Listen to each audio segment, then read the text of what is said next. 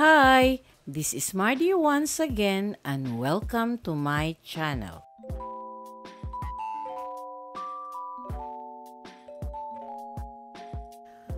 Noong March 4, 1879, ipinanganak si Rosa Sevilla de Alvero, tagapagturo, manunulat at isa sa mga kilalang suffragist sa Asia na nakipaglaban para sa karapatang bumoto ng kababaihang Pilipino sa Tondo, Maynila. Ang kanyang ama, si Ambrosio Sevilla, ay nagsilbi bilang sarhento ng hukbong Espanyol at ang kanyang ina, si Silvina Tolentino y Rafael, ay kamag-anak ng revolusyonaryong si Aurelio Tolentino. If you are new to my YouTube channel, please don't forget to like, comment, and subscribe. At para updated kayo sa mga susunod kong videos, please click the bell notification below.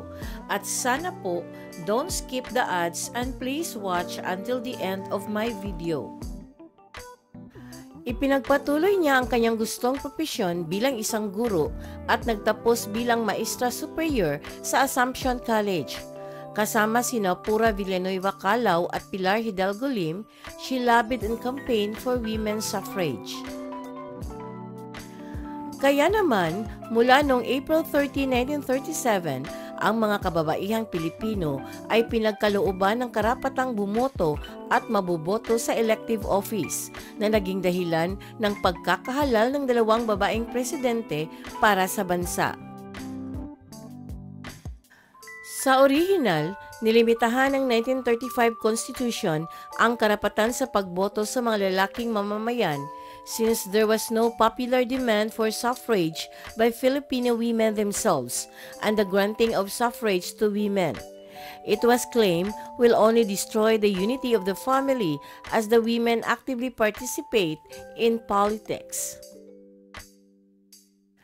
Si Sevilla na naging unang Dean of Women sa Universidad ng Santo Tomas ay isa rin sa dalawang babaeng kawani ng La Independencia, ang opisyal na pahayagan ng revolusyonaryong gobyerno ng Pilipinas na inedet ni General Antonio Luna.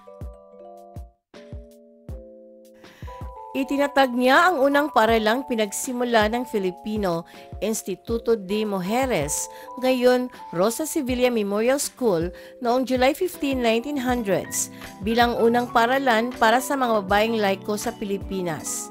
Siya rin ay co-founder ng Liga de Damas Filipinas, ang Federasyon Katolika de Mujeres at ang Asosasyon de Hispanistas.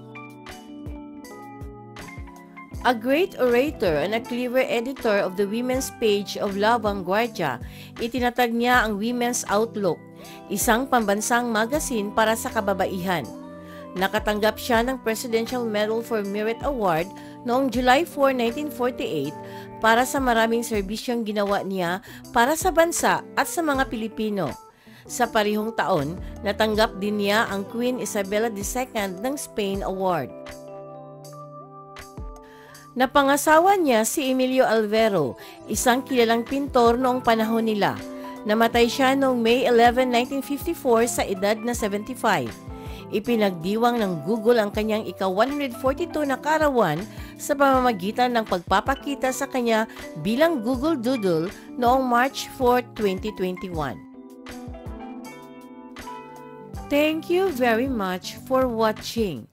And according to a famous quote, Life is better when you cry a little, laugh a lot, and are thankful for everything you've got.